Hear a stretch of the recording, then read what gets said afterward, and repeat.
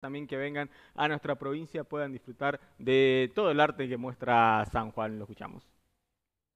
Contentos de este segundo bloque expositivo, con muy, muy ambicioso podríamos decir, acá me encuentro con un artista que es de Asunción del Paraguay, que es importantísimo tenerlo en la provincia, eh, un proyecto que ha traído obra desde muchas latitudes, podríamos decir, un gran panorama, una gran cartografía de, la producción contemporánea, desde Tucumán, Salta, Buenos Aires, este, de Asunción del Paraguay, desde San Juan también. Eh, es importantísimo poder tener en San Juan, digamos, la posibilidad de que todos estos artistas se reúnan en cuatro proyectos expositivos. El más importante en Sala 1 son los 30 años homenaje al mito real, que me acompaña acá Enrique Collar, uno de los referentes de este grupo, que tiene, digamos, tres referentes importantes y con la posibilidad de que lo cree y lo conforma este, Luis Felipe Noé, el, artista máximo, podríamos decir, de nuestro país, el gran maestro de la producción contemporánea, que le da sentido a esta idea de eh, este mito, esta idea de eh, aquellos artistas que trabajaban con los relatos sudamericanos,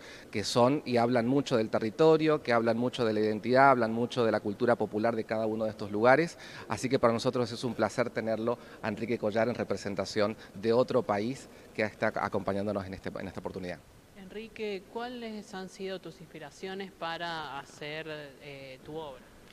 Bueno, yo eh, em, soy inmigrante paraguayo en Buenos Aires, de muy niño, y luego hago Bellas Artes, este, y a partir de que termino Bellas Artes decidí hacer mi obra, y, es, eh, mi obra fue recuperar esos primeros seis años de vida en el pueblo, en guaraní, eh, todos los, los, habitantes de un pueblito del Paraguay. Y a partir de allí nace mi obra. Y lo que hace Luis Felipe Noé después, que conoce mi obra en Paraguay, es juntarnos con Carlos y Víctor Quiroga y así surge este grupo que para mí fue maravilloso encontrarme con tres artistas, eh, de, digamos, de la misma ruta, de las mismas emociones y, ese mismo espacio oral del que abordamos. Yo considero que es un espacio pictórico oral que nosotros, cada uno en su, región, Tucumán, San Juan y Paraguay, hemos ido este, tratando de, captar el clima, las atmósferas, el misterio, todo lo que sucede, los interrogantes muchas veces entre el hombre y el paisaje sudamericano.